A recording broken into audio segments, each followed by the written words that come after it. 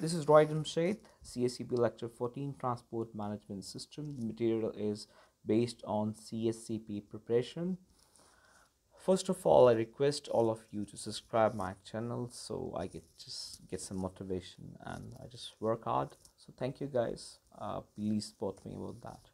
Okay, let's go to the transport management system. This is very critical right now in this field of supply chain because you know e-commerce is you know that has has a lot of growth and you know potential to grow in you know in countries where I live and where you are living.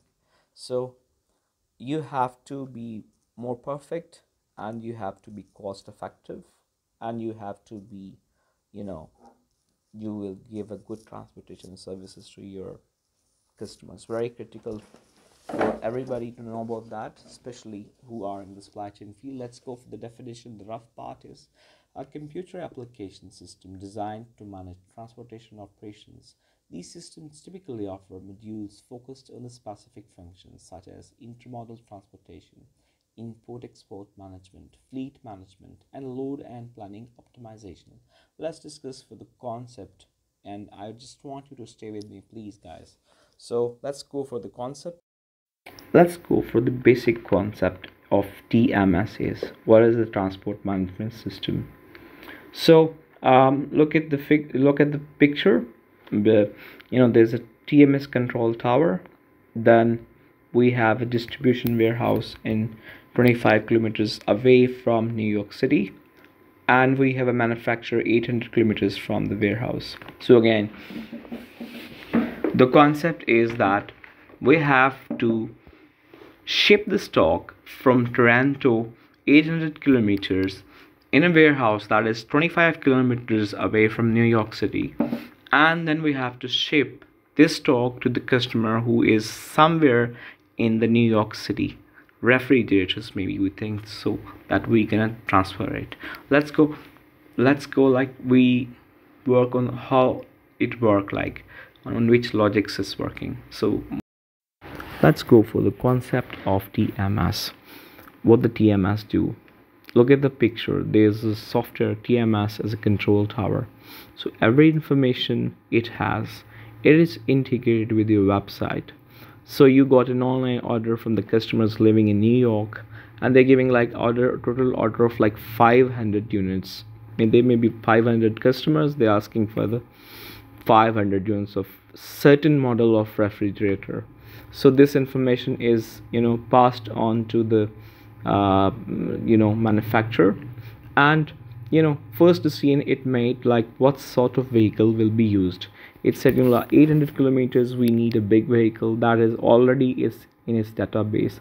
So by an artificial intelligence it will make make first the scene is choose the type of vehicle. So it's it has chosen like 40 feet uh, vehicle. Because it's a long distance we need a big vehicle to save the cost. And uh, so uh, second thing is that it will it will communicate with the vendors. You have like five vendors in your uh, TMS database. So it will select the vendor with the lowest price. Uh, if it is in your you know selected vendors in your database it's if it's open so there are portals which are uh, integrated with your TMS you can go for the online procurement. You may get a $300 or $350 container. So you give go for the minimum uh, you know a minimum uh, cost and you know all things are getting stored in the database. So it, it make it more intelligent so the vendor profile is also making you, you know we can understand that this vendor is good based on its delivery time. So the next thing it will take it uh, when it is reached the new york warehouse then it also converts into the number of vehicles uh, maybe and type of vehicles. Maybe we need a mini truck to deliver it into the uh, to the customers. So it converts it uh, the, the sales into number of you know mini trucks there may be 25 minutes required to ship in the new york city. So all these decisions are made through artificial intelligence from the tms software. And further things you know tms do a lot of other stuff like it uh, you know give you the online tracking. You can customer can check have the visibility to see where stock is from canada to new york and then from new, uh, york to the to the new york city. So all thing is visible to the manager to the to the warehouse to everybody you know everybody uh, uh, know the information about the transit time. So um, it do the route planning like for example it will it will plan based on the gps location the um, the route that can save the you know fuel expenses with less distance and uh, you need to travel less distance. This is also through the artificial intelligence. Other thing it do the real time tracking manifesting is the documentation making like the, it, there will be like bills based on the information the invoice will be made like on the point number serial number six of the table. Uh no 10 of the table. You can track uh, you can make the invoice in real time. You can uh, check the POD proof of delivery in the real time. So everything is in the real time. So you are going in real time. Let's go. If you want to purchase a TMS software either you are Shreyo or you have direct supply chain so you need to consider five key factors in the supply chain. Number one is visibility like your vehicles movement like your uh, primary shipment movement like your own fleet movement. Everything should be visible to the persons in the center like in the center of organization now have make the standards and it should be you know uh, give more control of uh, to the you know to the company who is buying this one. Next one is like integration between the transportation planning and order fulfillment.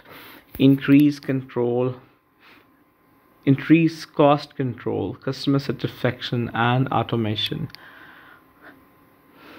so they should be linked like for example uh, you make a shipment plant shipment uh, plan of 500 refrigerators and whenever that is received by the customer so we will you know able to know that through automation that how much time it will take and what improvement we can make so it should be integrated between the transportation planning and order fulfillment. So uh, this is this is also critical. Execution control ensure that the plan is being followed. So whoever is controlling the software make sure and because there's visibility you can see that how much it time takes to uh, you know reach the warehouse uh, reach the stock to the warehouse. So this is this is the uh, who uh, for the people who are executing the uh, you know there should be control on the execution. So we can get the better results. So you you need to make sure the plan is being followed. Fifth is automation increase efficiency reduce errors. Integration tms will uh, start from the conveyor system automatically making bills con- uh, converting in documentation to pdf file uh, international shipments. So thank you very much. Hope you have i was tired. Hope, hope you have liked the